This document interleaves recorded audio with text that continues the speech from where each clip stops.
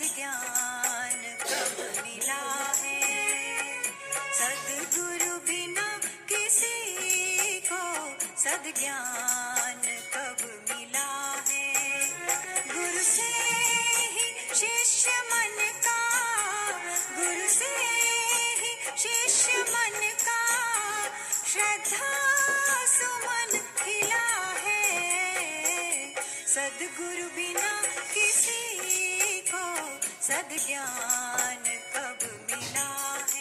નમસ્કાર સુપ્રભાતમ આજનો પવિત્ર દિવસ આપ સૌના માટે સુખ શાંતિદાયી, આનંદદાયી, સ્વાસ્થ્યદાયી, વિકાસદાયી બન્યો રહે તેવી મા જગદંબાના ચરણોમાં તેમજ પરમ કૃપાળુ પરમાત્માના ચરણોમાં પ્રાર્થના.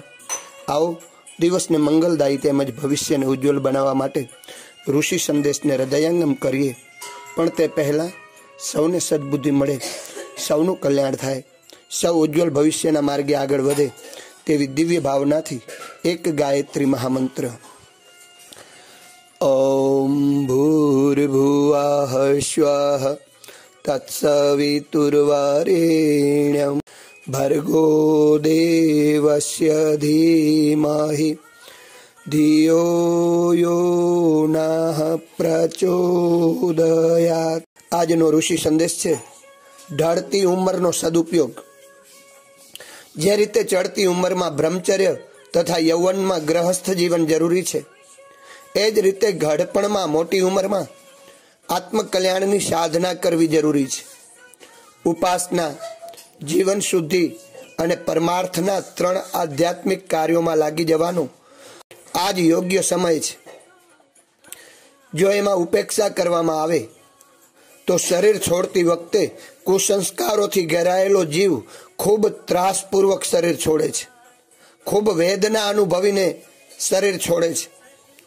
તે વખતની મોહ, મમતા, વાસના તથા તૃષ્ણા તેને સદગતિ મળવા દેતી નથી.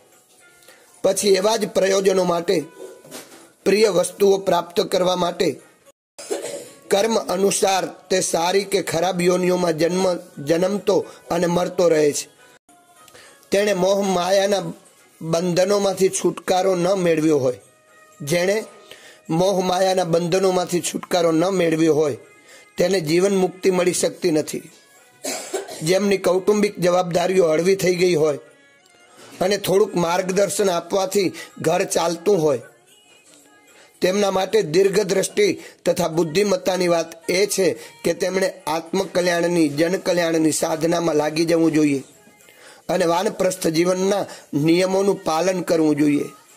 એ નિયમોમાં પહેલો નિયમ છે, સ્વાધ્યાય, સત્સંગ, ચિંતન અને મનન કરતાં કરતાં પોતાના અંતરને વધારેમાં વધારે શુદ્ધ અને પવિત્ર બનાવવાનો પ્રયત્ન કરવો જોઈએ. બીજો નિયમ છે, ઈશ્વરની ઉપાસનામાં વધારેમાં વધારે મન લગાવવું જોઈએ.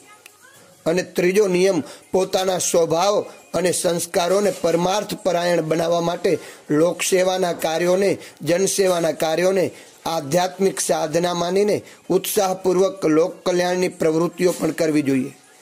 સંયમ, સદાચાર, ત્યાગ, ઉદારતા, નિર્લોભતા અને નિરઅહંકારિતાનો અભ્યાસ સતત કરવો જોઈએ. આ ત્રણેય બાબતો જેના જીવનનો અંશ બની જાય આ ત્રણેય નિયમો જેના જીવનનું અંગ બની જાય. તેણે વાનપ્રસ્થ ધર્મ અપનાવીને માનવ જીવનની સફળતાનો માર્ગ ખોલી નાખ્યો છે એમ માનવું જોઈએ. પરમ પૂજ્ય ગુરુદેવ શ્રીરામ શર્મા આચાર્યજી, અખંડ જ્યોતિ, ઓગણીસો ચોસઠ મે પૃષ્ઠ પંચાવન છપ્પન. મિત્રો, પ્રખર સ્વાતંત્ર્ય સેનાની યુગ ઋષિનો આ દિવ્ય સંદેશ ઓડિયો માં ગાયત્રી તેમજ પરમાત્માની અસીમ અનુકંપાથી આપ સૌની પાસે પહોંચાડવામાં આવ્યો છે. આમાં આપણા ઉજ્જવલ ભવિષ્યની તમામ સંભાવનાઓ રહેલી છે. તો આને અણ સાંભળ્યો વણ સાંભળ્યો નહીં કરતા, પોતાના સ્નેહી, સ્વજન ગ્રુપ સર્કલમાં ફોરવર્ડ કરી દૈવી સંસ્કૃતિ, ઋષિ સંસ્કૃતિ, સતયુગી સંસ્કૃતિ લાવવામાં સહભાગી બનશો. એ જ અપેક્ષા સહ આપ સૌનો દિવસ મંગલમય બની રહે. તેવી અખિલ વિશ્વ ગાયત્રી પરિવાર શાંતિકુંજ હરિદ્વાર, ઋષિ ચિંતન ચેનલ જેતપુર તેમજ ગાયત્રી પરિવાર શાખા સરગાસણની હાર્દિક શુભકામના અસ્તુ.